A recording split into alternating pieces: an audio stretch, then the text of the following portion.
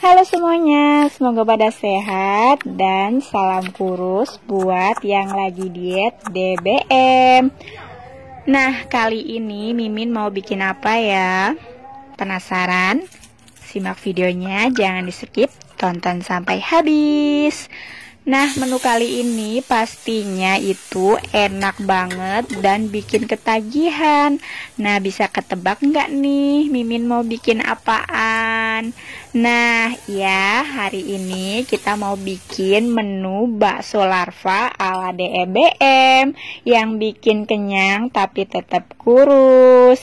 Ini bahan-bahannya gampang banget buat bunda-bunda dan banyak banget ditemuin di pasar-pasar, didapetin di pasar atau warung-warung terdekat ya bunda dan yang pastinya nggak kalah enak kayak mamang-mamang bakso yang jualan di depan kompleks pokoknya tonton videonya sampai habis jangan lupa dicatat buat bahan-bahannya ya biar nggak lupa kalau mau bikin di rumah untuk makanan keluarga dan untuk diet TBM pastinya rekomendasi banget.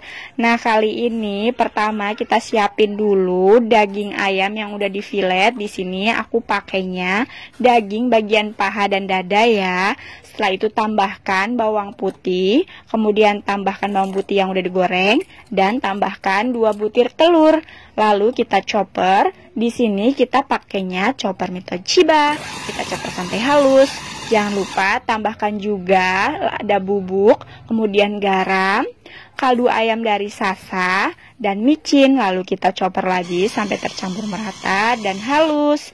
Nah, seperti ini ya teksturnya. Setelah itu, mangkoknya kita olesi minyak dan kita masukkan deh adonan baksonya. Kita pipihkan seperti ini. Selanjutnya, aku mau ulek cabai merah dan cabai rawit domba, kasih garam kita ulek ya bumbunya sampai halus kalau udah halus siapkan minyak lalu kita goreng deh kita goreng-goreng sampai wangi dan mateng. Kalau udah tambahkan juga nih garam. Tambahkan micin dan kaldu ayam dari sasa. Lalu masukkan telur puyuh yang sebelumnya udah direbus. Kita goreng-goreng sampai merata. Nah, setelah itu kita masukkan, lalu kita tutup lagi pakai adonan. Dan kemudian kita rebus deh. Ini kita rebus sampai mateng ya, jangan lupa dibalik. Nah, hati-hati kalau udah mateng, kita angkat deh. Selanjutnya aku mau bikin bumbu kaldu atau kuah baksonya, masukkan bawang merah, bawang putih, kemudian lengkuas dan kemiri. Tambahkan lada bubuk, kemudian minyak, lalu kita coba sampai halus ya. Nah, selanjutnya kita goreng bumbunya sampai benar-benar matang dan wangi. Nah, kalau udah wangi, aku mau rebus lagi nih airnya pakai balungan ayam. Kemudian masukkan bumbu yang udah kita goreng tadi, diaduk-aduk sampai rata. Jangan lupa tambahkan juga garam, tambahkan juga micin dan kaldu ayam dari sasa, diaduk-aduk tunggu sampai mendidih dan mateng ya. Nah, kalau udah, ini dia bakso larva lade ebemnya. Widih, ini pasti enak dan pedes banget. Nah, ini lebihannya aku bikin bakso kecil-kecil.